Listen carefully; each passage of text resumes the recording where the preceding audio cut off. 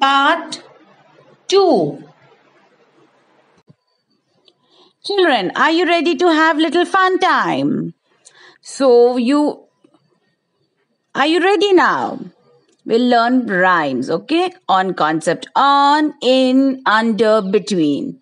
You have understood the concept. I hope you understood the concept between and on, in, under. We have done it before, right?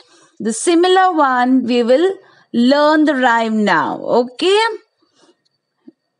Let's begin, children. Put your hand on your pencil box. Clap, clap, clap.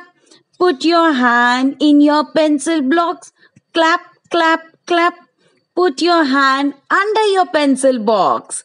Clap, clap, clap. Put your hand between your book and bag. Clap, clap, clap. Put your hand on your book. Clap, clap, clap.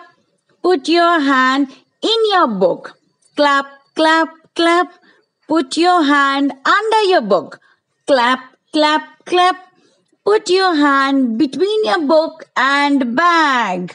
Clap, clap, clap. Put your hand on your bag. Clap, clap, clap. Put your hand in your bag.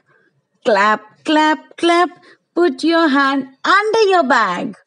Clap, clap, clap. Put your hand between your book and bag. Clap, clap, clap. I hope children you enjoyed the rhyme. And now we have seen many uh, people coming and working in Venu's new house. Yes, we have seen in the story reader. So let's see all the community helpers now. She is a firefighter, puts out fires. He is a carpenter. He makes tables and chairs. He is a pi- she is a pilot. She flies the plane. He's a barber. He cuts people's hair.